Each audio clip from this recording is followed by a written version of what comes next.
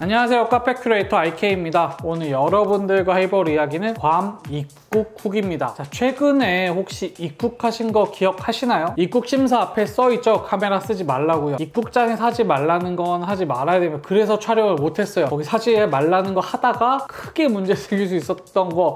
그래서 제가 못 찍었던 거는 꼭 말씀을 드릴게요. 먼저 입국 심사 분위기는 특별하지 않았습니다. 정확히 말하면 코로나 관련해서 입국 심사 과정에서 막 드라마틱한 변화는 특별하게 없었어요. 그건 아무래도 제가 티켓팅 할 때 코로나 72시간 전에 음성 결과를 제출했고 그걸 보고 탔기 때문에 아마 그쪽에서는 어느 정도 이해를 한 게 아닐까 싶기는 해요. 어, 이 사람은 조금 안전하다라고 하는 어느 정도의 확인이 있었던 거를 괌 쪽에서도 알고 있는 거죠. 지난번에 이스타 관련해서 제가 준비를 안 해갔다고 말씀을 드렸는데요. 별로 큰 문제는 없었습니다. 정확히는 원래 이스타는 제가 사실 여권을 제시하는 순간 입국 심사관이 체크하는 부분이기 때문에 인터뷰 과정에서 이스타가 있는지 없는지는 묻지 않았어요. 제가 2년 전에 아틀란타 입국했을 때 말씀드렸던 것처럼 그 서류를 꺼내기 위해서 노력하지 않으셔도 됩니다. 그런데 거기 계신 직원이자 교포분이 한국말로 말씀을 해주시더라고요.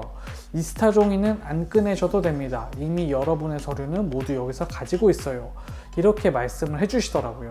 일단 그래서 거기 있던 사람들은 다 종이를 다시 집어넣습니다. 그리고 당연히 나오는 질문과 행동들은 있었죠. 뭐 손가락 이렇게 지문 찍고 나서 며칠이나 있을 거냐, 어디에서 머무를 거냐 이런 질문들이 있었습니다. 그래서 대답은 다 해드렸고요. 이번 괌 입국에 얼마를 가져왔는지는 묻지 않았어요. 그런데 괌에 있는 분들도 알겠죠. 돈스러운 걸요. 그래서 그런 별도의 질문은 없었습니다. 물론 코로나 관련한 질문들은 있었습니다. 백신을 맞았느냐, 어떤 백신을 맞았느냐, 맞은 날짜가 언제냐 이런 질문들이 있었습니다. 근데 저는 이제 영문 증명서를 들고 갔기 때문에 그 서류를 바로 제출했어요. 그래서 그분도 그 서류 보자마자 음 알았다고 하시더라고요. 그래서 증명서 한 장으로 서로 편하게 인터뷰를 했습니다. 거기서 앱 키고 뭐 그런 것보다는 종이 한 장으로 다 해결이 된 거죠. 일단 입국 자체가 많지 않았기 때문에 뭐 생각보다 그렇게 어려운 부분은 없었어요. 그런데 문제는 입국하고 나서 건강 관련 답변을 하는데 시간이 많이 걸리더라고요. 일단은 PCR 서류를 완전히 제출해야 되는 부분이 하나 있었습니다. 입국 심사 끝나고 그 다음에 비행기에서 썼던 질문 서류를